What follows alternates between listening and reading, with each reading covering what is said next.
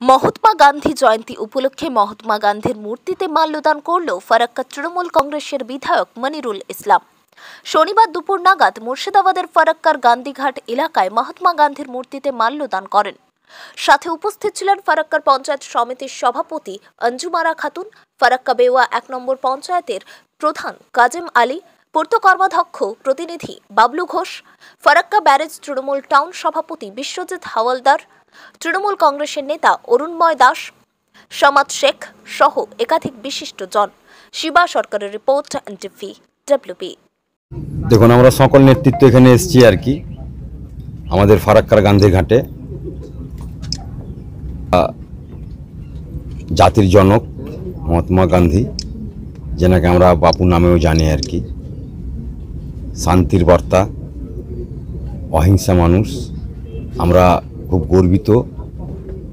এরকম বীর পুরুষ আমরা ভারতবর্ষে জন্মগ্রহণ করেছিলেন।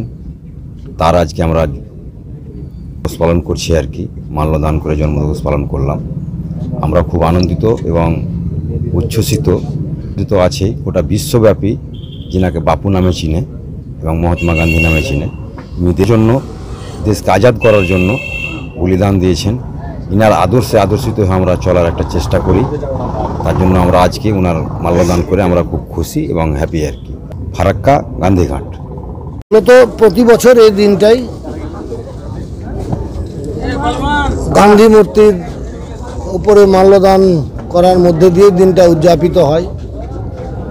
এবং গান্ধীজির যে আদর্শ, সেই আদর্শ নিয়ে কিছু কথা বলা হয় আর কি। আমাদের মাননীয় বিধায়ক সাহেব এখানে উপস্থিত ছিলেন। ফারাক্কা ব্লক তৃণমূল কংগ্রেসের পক্ষ থেকে আজকে মহাত্মা গান্ধীকে পুষ্প প্রদানের মধ্যে দিয়ে তার জন্মদিন উদযাপিত হলো।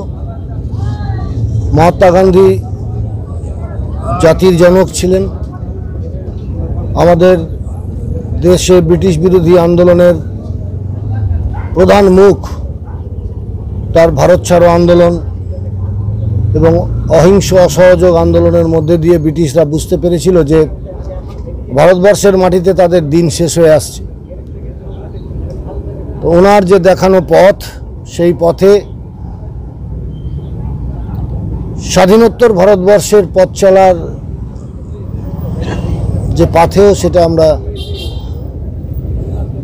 পেয়েছি এবং তার আদর্শকে সামনে রেখেই আমরা ভবিষ্যতে এগোবো যে অহিংসার পথে ভারতকে কি করে পূর্ণ স্বাধীনতায় এনে দেওয়া যায় ভারতীয়দের এখনও ভারতবর্ষের কোনায় কোনায় একটা অশুভ শক্তি ভারতবর্ষের ক্ষমতা থাকায় মানুষ তার অধিকার থেকে বঞ্চিত হচ্ছে।